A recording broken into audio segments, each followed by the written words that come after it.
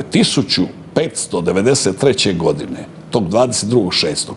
Turci su doživjeli prvi i najteži ozbiljan poraz od kršćanske Evrope, a Sisak je u Hrvatskoj, iako je bilo i njemačkih vojnika, međutim što se je dogodilo? To je Bog odlučio, kao što je Bog odlučio Krbansku bitku da Hrvati 100 godina ranije izgube, jer da smo bili vođeni kako treba, mi ne bismo tu bitku izgubili. Isto je tako Bog odlučio da turskih vojnika, za kojima ti ja žalim, jer tu pola bilo poturčenih Hrvata, da žestoko stradaju zbog neumješnosti i bahatosti Hasan Paše Predojevića.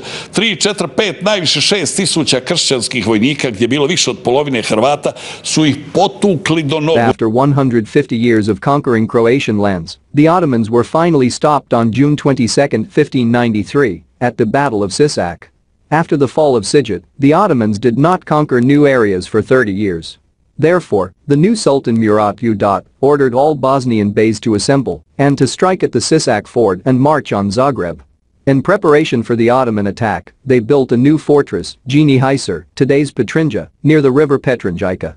In 1593, after two unsuccessful sieges of the Sisak fortress, which was built 50 years ago by the Bishop of Zagreb, Nikola Olah, the Bosnian Pasha Hassan gathered about 30,000 soldiers.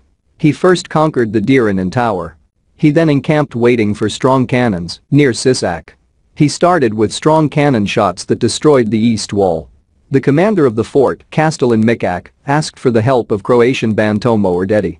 Bantoma personally brings to the battlefield a rapidly assembled army of 5,000 soldiers. Opposite were 15,000 Ottomans. Although numerically weaker, the Christian forces took advantage of the firepower and managed to defeat them completely. They squeezed them into a narrow space and closed the bridge over the Kupa and forced them into the Kupa and Sava. At that moment, the army came out of the Sisak fortress and broke up the Ottoman camp. Two-thirds of the Ottoman soldiers succumbed to their wounds or drowned in the Kupa, among them Hassan Pasha with many Ottoman nobles. Weakened by constant wars and internal problems, the Ottoman army did not recover from that battle. The Ottoman conquests were halted. And soon, under Christian onslaught, its gradual withdrawal from Croatian lands began the token of gratitude. The small bell of the Zagreb Cathedral rings every day at 2 p.m. From June 22, 2010, and the bell of the Sisak Cathedral of the Exaltation of the Holy Cross. The Battle of Sisak ended the hundred-year Croatian-Turkish War. However, after Sisak, Juraj Lenković with 1,000 Croatian soldiers from Kranjska and Hrvatska Krajina went to the aid of Klis, who was defended by Ivan Alberti. There, Juraj will be defeated, but he will be able to retreat to the Klis fortress. Despite the injuries, he remains alive.